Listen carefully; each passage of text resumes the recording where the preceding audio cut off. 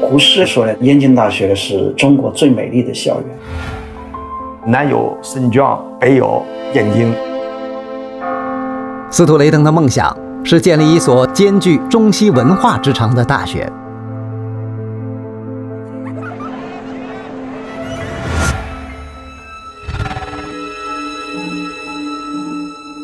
要联合名不见经传的几所学校，司徒雷登发现自己陷身于一团麻烦之中。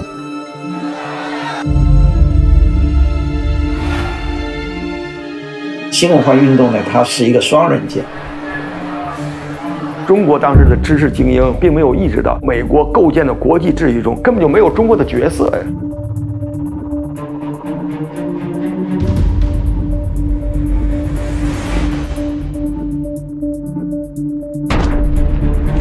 斯图雷登被日本宪兵抓走，燕京大学被日军宣布解散。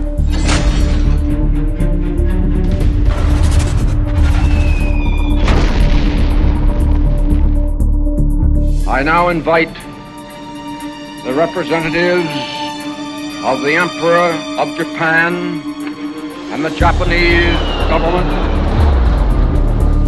斯图雷登也没有想到。这是他在出生地杭州最后一次晚餐。他有一种使命感，但是他没有政治经验。What gets him into trouble？他是一个不合时宜的大使，